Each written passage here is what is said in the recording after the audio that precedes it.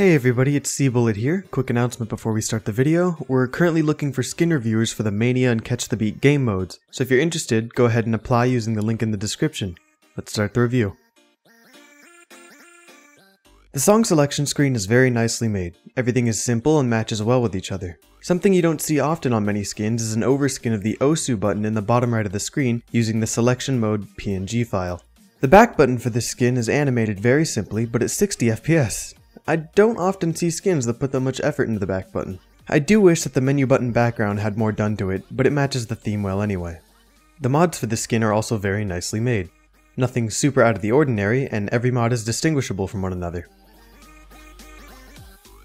The ranking screen is very simple, but that matches the overall theme of this skin. Everything is very nicely displayed and easy to read since the font colors contrast the ranking panel background nicely. The 300, 100, 50, and miss are very simple, but again, very nice and match the theme.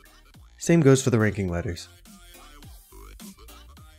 Matching theme with the rest of the skin, the skip button is a nice rounded rectangle and is animated at 60 FPS. The key input looks very nice and simple, like the menu button background. The cursor is a very simple solid color with some shine and a gray cursor trail. The hit circles are easy to read, and the health bar is simple and not obstructive. The cursor stands out very much from the hit circles and the slider bodies, which makes getting lost a challenge, even if you're like me and you play at minimum cursor size. I often found myself misreading some sliders with this skin as the slider body outline is a dark gray. Another issue I have with the sliders is the slider ball. The combination of no slider follow circle and a thin slider ball that matches the hit circle color makes it very easy to misread the speed of fast or short sliders. For longer sliders though, it's not a problem. The 100s, 50s, and misses also greatly stand out from the hit circles and sliders, making it very easy to fix your timing if you're offbeat from the song.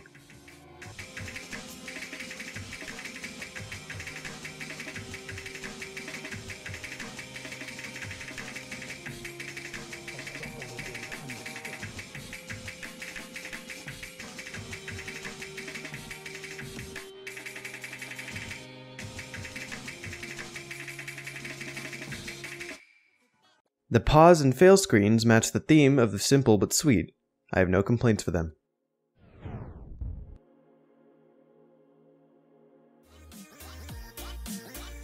For the song selection screen, just skin the grouping buttons and I'd have no complaints. Other than that, the only things I noticed that I'd like to improve are the slider ball slash follow circle. I think an easier way to fix this would just be to match the slider ball color to that of the cursor. It'd be much easier to follow faster sliders if this change was implemented.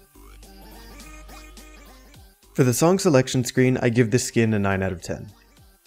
For the ranking screen, a 9 out of 10. For gameplay, an 8 out of 10. The overall rating for this skin is 8.5 out of 10.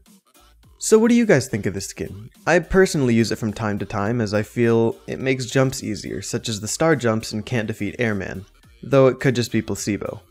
Do you guys agree with my rating? Why or why not? Let us know in the comments section below. Other than that, be sure to leave a like and I'll see you guys next Saturday for another review.